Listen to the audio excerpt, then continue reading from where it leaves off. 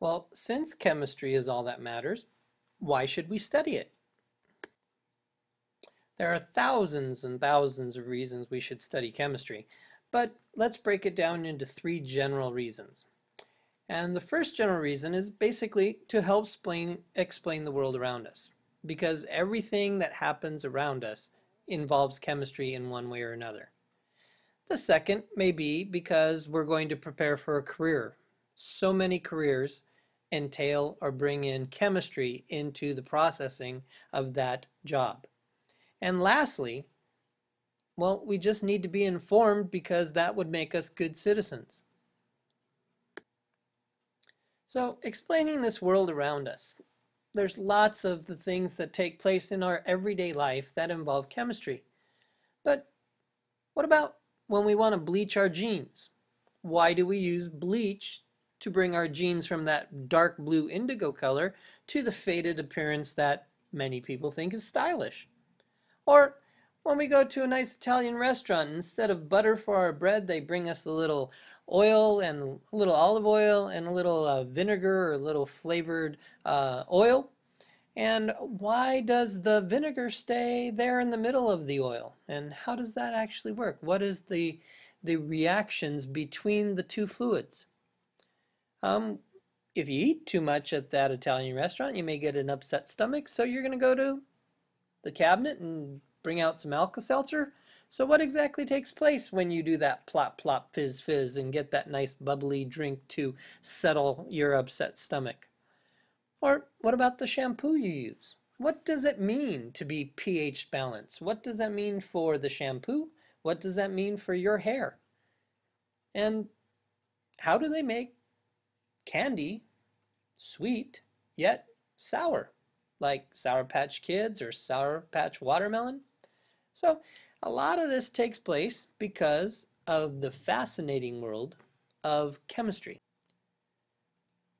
There aren't enough slides in this presentation to put the pictures of all of the careers that would involve chemistry. But to study chemistry, you would probably be studying for a handful of major careers, but thousands and thousands of other careers that might use chemistry in one way.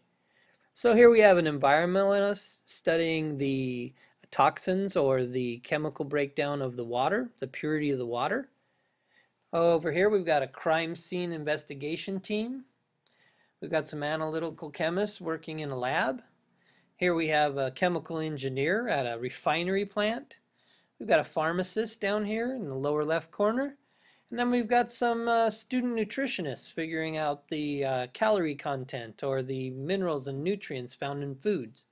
So this is just an example of some of the careers out of thousands that would involve chemistry.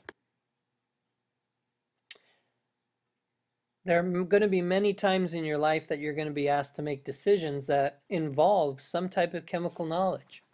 So Sometimes it may be choices in a ballot. You know, do we build a, a water plant, a water cleansing plant in the town next door? Do we put solar panels above the parking lot of the local high school? Do we have recycling centers? What are the aspects of our lives that we need to understand some form of chemistry?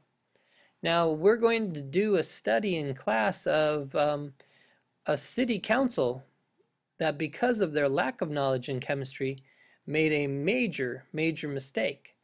And you're going to do that case study as part of one of our assignments later in this section. So why study chemistry? Because everything involves so chemistry, technology, and society Research in modern chemistry can lead to technologies that aim to benefit the environment, consume, conserve and produce energy, improve human life, and expand our knowledge of the universe. So basically, encompassed in this is pretty much everything that involves us living here on the earth. It involves chemistry and the technologies generated to hopefully help and improve our society.